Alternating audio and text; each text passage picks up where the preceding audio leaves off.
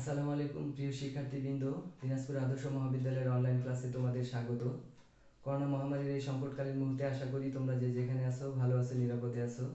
আমি সাজ্জাদুল ইসলাম, প্রভাষক রাষ্ট্রবিজ্ঞান বিভাগ আদর্শ মহাবিদ্যালয়, দিনাজপুর।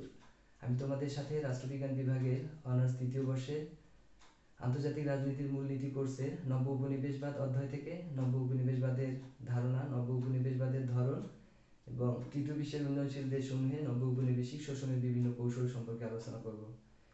শিক্ষার্থীবৃন্দ নব্য উপনিবেশবাদ আন্তর্জাতিক রাজনীতির একটি বহুল আলোচিত বিষয়। নব্য উপনিবেশবাদ সম্পর্কে আলোচনা করার পূর্বে সর্বপ্রথম আমরা উপনিবেশবাদ কি সেই সম্পর্কে ধারণা নেওয়ার চেষ্টা করব।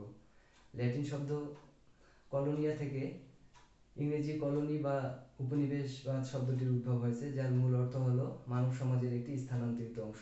সাধারণভাবে উপনিবেশবাদ বলতে আমরা এমন এক ধরনের ভূখণ্ডকে বুঝি, যে ভূখণ্ডের অধিকাংশ জনগোষ্ঠী সংখ্যালঘু, ভিন্ন জনগোষ্ঠী কর্তৃক নিয়ন্ত্রিত এবং পরিচালিত হয় এবং যাদের সাথে সংখ্যালঘু, ভিন্ন জনগোষ্ঠীর ব্যাপক পার্থক্য পরিলক্ষিত হয়।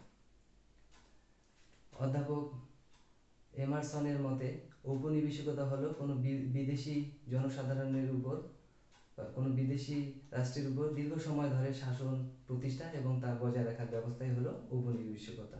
তো শিক্ষার্থীবৃন্দ উপনিবেশিকতা বা উপনিবেশবাদের পরিবর্তিত নবরূপেই হলো নব্য উপনিবেশবাদ অর্থাৎ বর্তমান সময়ে বড় বড় উপনিবেশিক সাম্রাজ্য না থাকলেও উপনিবেশিক ধারণা মূলত আন্তর্জাতিক রাজনীতি থেকে একেবারে মুছে যায়নি।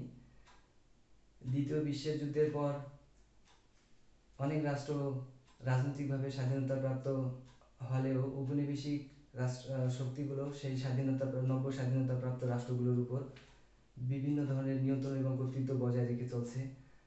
আমরা যদি দেখি, মার্কিন যুক্তরাষ্ট্র, ইউরোপীয় ইউনিয়ন এবং চীন এবং জাপান বর্তমান সময়ে নব্য উপনিবেশিক শাসক হিসেবে আবির্ভূত হয়েছে। এই রাষ্ট্রগুলো তৃতীয় বিশ্বের উন্নয়নশীল রাষ্ট্রে মূলত বাণিজ্য এবং সাহায্যের অজুহাতে বিভিন্ন সময় বিভিন্ন কৌশল প্রয়োগ করে রাষ্ট্রগুলোর উপর কর্তৃত্ব এবং নিয়ন্ত্রণ প্রতিষ্ঠা করছে এবং সে রাষ্ট্রগুলোর অর্থনীতির উপর আধিপত্য বিস্তার করে তা মূলত নিজ ব্যবহার করছে।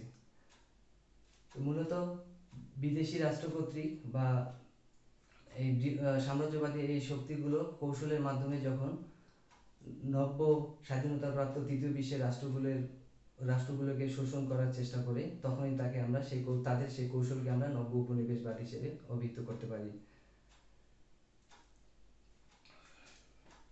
বিএস কোহন নব্য উপনিবেশবাদ সম্পর্কে বলেন যে, একটি রাষ্ট্রের উপর অন্য একটি রাষ্ট্রের নব্য উপনিবেশবাদ হলো একটি রাষ্ট্রের উপর অন্য একটি রাষ্ট্রের যে কোনো ধরনের রাজনৈতিক বা অর্থনৈতিক প্রত্যক্ষ বা পরোক্ষ প্রভাবই হলো নব্য উপনিবেশবাদ জন স্টার্ক তার তার এম্পায়ার গ্রন্থে বলেন যে শাসক, শোষক উভয় আছে কিন্তু শোষণের কৌশল পরিবর্তন হয়েছে।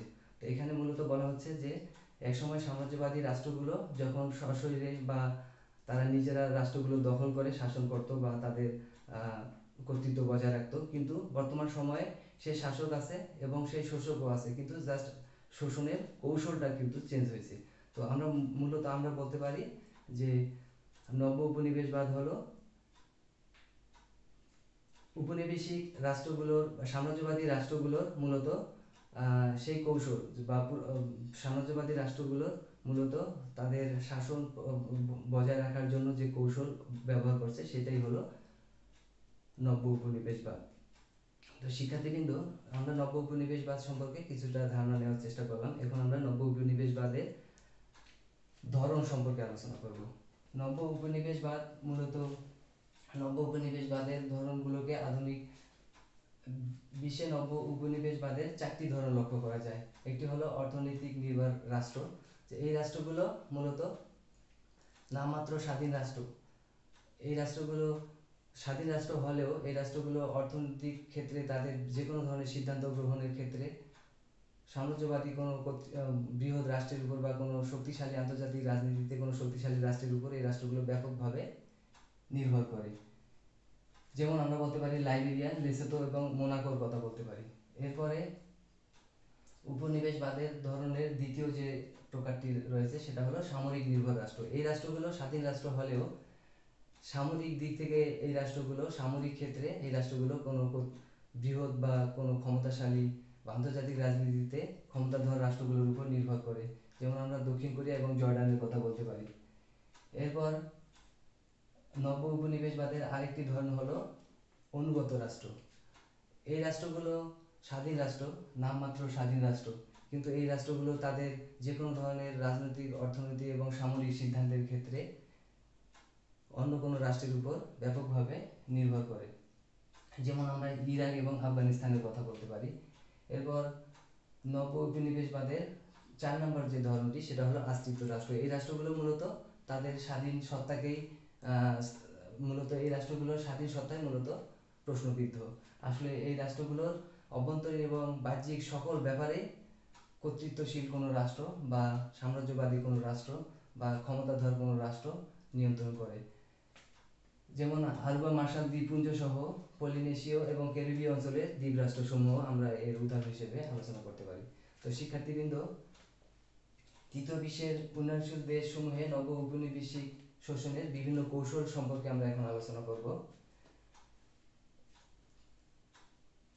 সাম্রাজ্যবাদী রাষ্ট্রগুলো মূলত দ্বিতীয় বিশ্বযুদ্ধের পর যে স্বাধীন সার্বভৌম রাষ্ট্রগুলো, তৃতীয় বিশ্বের যে অনুন্নত এবং উন্নয়নশীল স্বাধীন সার্বভৌম রাষ্ট্রগুলো প্রতিষ্ঠিত হয়, সেই রাষ্ট্রগুলোর উপর বিভিন্ন কৌশলের মাধ্যমে উপনিবেশিক শোষণ মূলত তারা প্রতিষ্ঠা করে। তো, তৃতীয় বিশ্বের উন্নয়নশীল দেশসমূহে উপনিবেশিক শোষণের বিভিন্ন কৌশল সম্পর্কে আলোচনা করব আমরা। তো এই এই কৌশলগুলোর মধ্যে, উপনিবেশিক শোষণের কৌশলগুলোর মধ্যে প্রথম কৌশলটি হলো অর্থনৈতিক শোষণ। আমরা জানি যে তৃতীয় বিশ্বের উন্নয়নশীল রাষ্ট্রগুলো যখন স্বাধীনতা প্রাপ্ত হয়, তখন সেই রাষ্ট্রগুলো তাদের ভঙ্গুর দশা থেকে নিজেদেরকে প্রতিষ্ঠা করার জন্য বা তাদের সেই দেশকে সাজানোর জন্য তারা উন্নত রাষ্ট্রগুলোর উপর নির্ভরশীল হয়ে পড়ে। আর এই সুযোগে উন্নত রাষ্ট্রগুলো তাদের উপর বিভিন্ন ধরনের অর্থনৈতিক শোষণ প্রতিষ্ঠা করে। তো অর্থনৈতিক শোষণ মূলত কয়েকটি ভাবে তারা করে থাকে। একটা হলো ঋণের ফাঁদে ফেলে। তৃতীয় বিশ্বের উন্নয়নশীল দেশগুলো যখন তারা স্বাধীনতা প্রাপ্ত হয় বা তৃতীয় বিশ্বের উন্নয়নশীল দেশগুলো যুগের সাথে তাল মিলিয়ে চলার ক্ষেত্রে তারা তাদেরকে স্বয়ংসম্পূর্ণ করার জন্য উন্নয়ন, উন্নত রাষ্ট্রগুলোর উপর নির্ভর করে এবং তারা তাদের উপর নির্ভরশীল হয়ে বিভিন্ন ধরনের ঋণ গ্রহণ করে। আর উন্নয়নশীল রাষ্ট্রগুলো এই ঋণের ফাঁদে পড়ে। তারা মূলত এই চক্রা, চক্রাবৃদ্ধি হারে সুদ প্রদান করে। ফলে তারা তাদের উন্নত রাষ্ট্রগুলো দ্বারা ব্যাপকভাবে ঋণের ফাঁদে পড়ে, অর্থনৈতিকভাবে শোষিত হয়। তো ঋণের ফাঁদে পড়ে মূলত অর্থনৈতিক শোষণ করে থাকে উন্নত রাষ্ট্রগুলো। এরপর অর্থনৈতিক শোষণের আরেকটি ধরন হলো বেসরকারি বিনিয়োগ। উন্নত রাষ্ট্রগুলো, উন্নয়নশীল রাষ্ট্র, রাষ্ট্রগুলোর উপর কর্তৃত্ব বজায় রাখার জন্য বা তৃতীয় বিশ্বের নব্য স্বাধীনতা প্রা- প্রাপ্ত রাষ্ট্রগুলোর উপর কর্তৃত্ব বজায় রাখার জন্য বেসরকারি ক্ষেত্রে ব্যাপক বিনিয়োগ করে। এবং এই বেসরকারি বিনিয়োগের ফলে যেমন যে বিভিন্ন ধরনের বহুজাতিক কোম্পানির কোমল পানীয় সহ বিভিন্ন পণ্যের মাধ্যমে তারা তৃতীয় বিশ্বের রাষ্ট্রগুলির উপর তারা তাদের বাজার প্রতিষ্ঠা করে এবং তৃতীয় বিশ্বের রাষ্ট্রগুলো থেকে বেসরকারি বিভিন্ন বিনিয়োগের মাধ্যমে তারা তাদের বাজার দখল করে। সেখানকার কোটি কোটি অর্থ নিজ দেশে হাতিয়ে নেয়। এভাবে অর্থনৈতিকভাবে বেসরকারি বিনিয়োগের মাধ্যমে অর্থনৈতিক শোষণ করে মূলত উন্নত রাষ্ট্রগুলো। এরপর অর্থনৈতিক শোষণের আরেকটি কৌশল হলো পণ্যের মূল্য নির্ধারণ বা পণ্যের মূল্য নিয়ন্ত্রণ। মূলত আন্তর্জাতিক বাজারে পণ্যের মূল্য ওঠানামা করে ওঠানামার ক্ষেত্রে মূলত উন্নত বা সাম্রাজ্যবাদী রাষ্ট্রগুলো নিয়ন্ত্রক রাষ্ট্র হিসেবে ভূমিকা পালন করে। আর তৃতীয় বিশ্বের উন্নয়নশীল রাষ্ট্রগুলির, রাষ্ট্রগুলোর রপ্তানিযোগ্য পণ্যের মধ্যে মূলত কৃষিজাত দ্রব্য থাকার কারণে তারা সাম্রাজ্যবাদী রাষ্ট্রগুলো পণ্য, পণ্যের মূল্য নির্ধারণ করে দেয়। ফলে এই উন্নয়নশীল রাষ্ট্রগুলো তারা তাদের পণ্যের প্রাপ্য মূল্য পায় না। ফলে অর্থনৈতিকভাবে তারা ব্যাপক ক্ষতিগ্রস্ত হয়। এভাবে মূলত অর্থনৈতিক শোষণের মাধ্যমে তৃতীয় বিশ্বের রাষ্ট্রগুলির উপর তারা উপনিবেশিক বিভিন্ন কৌশল প্রয়োগ করে থাকে। শিক্ষার্থীবৃন্দ তৃতীয় বিশ্বের দেশসমূহে নব উপনিবেশিক শোষণের দ্বিতীয় যে কৌশলটি, সেটা হলো অসম বাণিজ্য। আন্তর্জাতিক রাজনীতিতে আমরা দেখি যে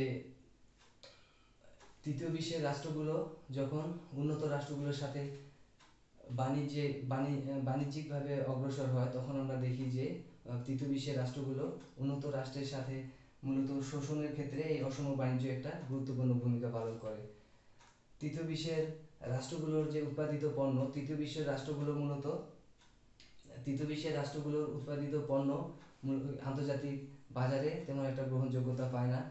কারণ তৃতীয় বিশ্বের উৎপাদিত পণ্যগুলোর গুণগত মান আসলে তেমন ভালো হয় না। তাছাড়া তৃতীয় বিশ্বের উন্নয়নশীল রাষ্ট্রগুলো মূলত অধিকাংশ ক্ষেত্রে নির্ভর করে তাদের কৃষিজাত পণ্যের উপর, যার জন্য আন্তর্জাতিক বাণিজ্যের ক্ষেত্রে উন্নয়নশীল রাষ্ট্রগুলোর যে বাণিজ্য সেখানে সেটা টিকে থাকতে পারে না। তো আমরা বলব যে অসম বাণিজ্যের কারণে যে আন্তর্জাতিক রাজনীতিতে তৃতীয় বিশ্বের রাষ্ট্রগুলো উপনিবেশিক শোষণের শিকার হয়। এরপর তৃতীয় বিশ্বের দেশসমূহে উপনিবেশিক নব উপনিবেশিক শোষণের আরেকটি কৌশল হলো বৈদেশিক সাহায্য। তো মূলত তৃতীয় উন্নত বা সাম্রাজ্যবাদী রাষ্ট্রগুলো তৃতীয় বিশ্বের রাষ্ট্রগুলোর উপর কর্তৃত্ব বজায় রাখার জন্য তারা বিভিন্ন ধরনের সাহায্যের দেওয়ার কৌশল অবলম্বন করে। আর এই সাহায্য দেওয়ার কৌশলগুলোকে কয়েকটি ভাগে ভাগ করে আমরা আলোচনা করব। একটি হলো খাদ্য সাহায্য, মূলত উন্নয়নশীল রাষ্ট্রগুলো বা তৃতীয় বিশ্বের দরিদ্র বা অনুন্নত রাষ্ট্রগুলোকে খাদ্য চাহিদা পূরণের জন্য তারা কৌশলে খাদ্য সহায়তা করে। সাম্রাজ্যবাদী রাষ্ট্রগুলো খাদ্য সহায়তা করার মাধ্যমে সেই রাষ্ট্রগুলোর উপর তাদের কর্তৃত্ব বজায় রাখে এবং রাষ্ট্রগুলোকে তারা তাদের মতো করে ব্যবহার করতে সচেষ্ট থাকে এবং খাদ্য সহযোগিতা করার মাধ্যমে রাষ্ট্রগুলো মূলত সেই রাষ্ট্রগুলোর উপর, উন্নত রাষ্ট্রগুলোর উপর বা সহযোগী রাষ্ট্রগুলোর উপর পরিপূর্ণভাবে নির্ভরশীল হয়ে পড়ে। আর এই সুযোগে সাম্রাজ্যবাদী রাষ্ট্রগুলো উপনিবেশিক শোষণ কায়েম করে, সে অনুন্নত রাষ্ট্রগুলোর উপর নিজেদের কর্তৃত্ব বজায় রাখে। বৈদেশিক সাহায্যের দ্বিতীয় যে ধরনটি, সেটা হলো পণ্য সাহায্য। মূলত যেগুলো গুরুত্বপূর্ণ পণ্য একটি রাষ্ট্রের জন্য গুরুত্বপূর্ণ পণ্য, বিশেষ করে কলকারখানার যন্ত্রাংশ সংকটকালীন মুহূর্তে খাদ্য, গুঁড়ো দুধ এগুলো, এই পণ্যগুলো মূলত আমদানি করার জন্য যে আর্থিক সহযোগিতা করা হয় সেটাই হলো পণ্য সাহায্য। আর এই পণ্য সাহায্য করা প্রদানের মাধ্যমে মূলত সাম্রাজ্যবাদী রাষ্ট্রগুলো তৃতীয় বিশ্বের নব্য স্বাধীনতাপ্রাপ্ত রাষ্ট্রগুলোর উপর তাদের কর্তৃত্ব বজায় রাখে। এরপর বৈদেশিক সাহায্যের তৃতীয় যে বিষয়টি সেটা হলো প্রকল্প সাহায্য। সাম্রাজ্যবাদী রাষ্ট্রগুলো তৃতীয় বিশ্বের উন্নয়ন উন্নয়নশীল রাষ্ট্রগুলোকে বিভিন্ন প্রকল্প বাস্তবায়নের জন্য তারা বিভিন্ন ধরনের সহযোগিতা করে এবং প্রকল্প বাস্তবায়নের জন্য যে সহযোগিতা করে সেগুলোই হলো প্রকল্প সাহায্য। প্রকল্প সাহায্যের মাধ্যমে আন্তর্জাতিক রাজনীতিতে মূলত সাম্রাজ্যবাদী রাষ্ট্রগুলো নব্য স্বাধীনতাপ্রাপ্ত রাষ্ট্রগুলোর উপর উপনিবেশিক শোষণ কায়েম করে। তো শিক্ষার্থীবৃন্দ তৃতীয় বিশ্বের দেশসমূহে নব উপনিবেশিক শোষণের আরেকটি কৌশল হলো পুতুল সরকার গঠন করা। আন্তর্জাতিক রাজনীতিতে আমরা দেখি যে সাম্রাজ্যবাদী এই রাষ্ট্রগুলো, ক্ষমতাধর এই রাষ্ট্রগুলো তৃতীয় বিশ্বের উন্নয়নশীল বা অনুন্নত রাষ্ট্রগুলোর উপর নিজেদের কর্তৃত্ব বজায় রাখার জন্য তারা সেখানে তাদের অনুগত সরকার প্রতিষ্ঠা করে এবং সেই সরকার